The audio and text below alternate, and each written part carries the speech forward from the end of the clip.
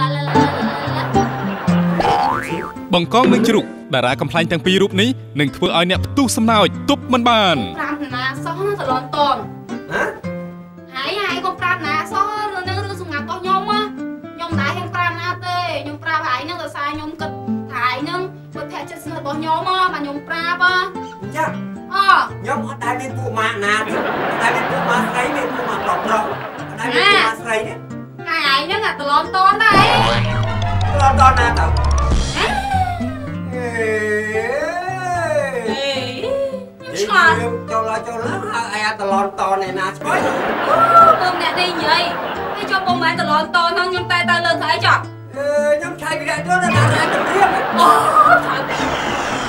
ទីភាសាអង់គ្លេសតាមកាយវិការ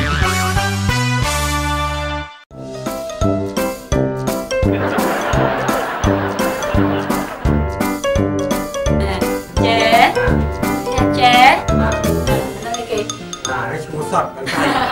picture frame spelling type រួមបញ្ចូលទាំងភាពសប្បាយរីករាយកំ pl ែងជាមួយនឹងការសិក្សាភាសាអង់គ្លេស hey ពីពីពីតែតែតែតែតែ picture frame ហ៎ ai ហ៎ ai អាយអើអាតែតែតែស្ដាប់តាម teacher និយាយ me iceberg I